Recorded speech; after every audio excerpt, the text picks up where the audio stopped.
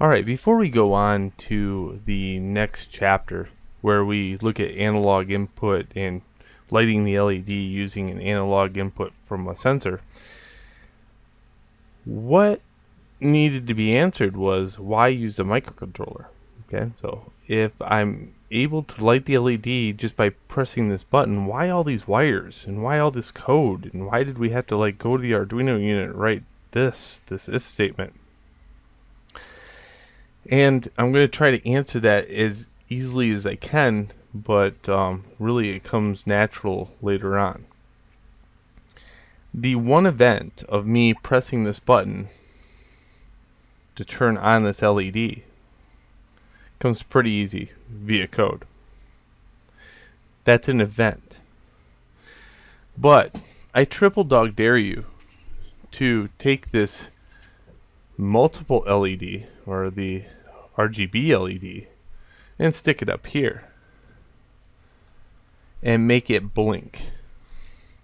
Well, wait a minute.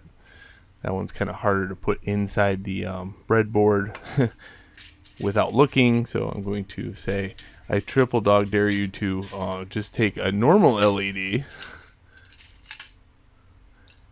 and put it up here and make it blink without adding any more components into the mixture.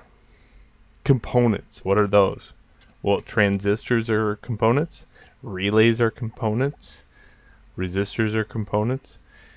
How would I make this one blink and this one just go on and off via the switch with the same switch? Well, you could do that with a microcontroller. But if you were to do it without a microcontroller, you would need a bunch of transistors hooked up in line so that the power hit them just right. And then you would need some capacitors to fill and drain in order to get this to blink. Alright? But we don't need any of that because we have a microcontroller. And that's what your job is, is to write code to make events happen like that. So a microcontroller takes away the the components needed or the component aspect of ele electronics. Also notice that um, this this resistor wasn't in uh, the couple videos. I just put that in place and nothing happened. The LED didn't blow up, you know, Hiroshima didn't go off or anything like that.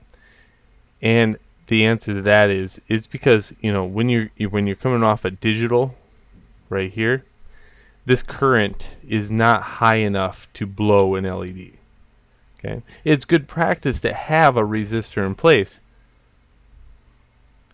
but really it's unnecessary. As you go through the series I'll have a resistor there I'll put a resistor not there I keep you on your toes with the resistor but know that anytime I'm going digital out to uh, an LED or something that can handle um, a current, I usually, you know, just let fate decide. Now, not all LEDs can handle that, mind you. So if you have a crappy LED that you pulled out of the drawer at Radio Shack, sometimes those little guys can't handle any of the power or any of the current whatsoever. So in that case, you will definitely need a resistor, and you should watch the video about Ohm's law that I have.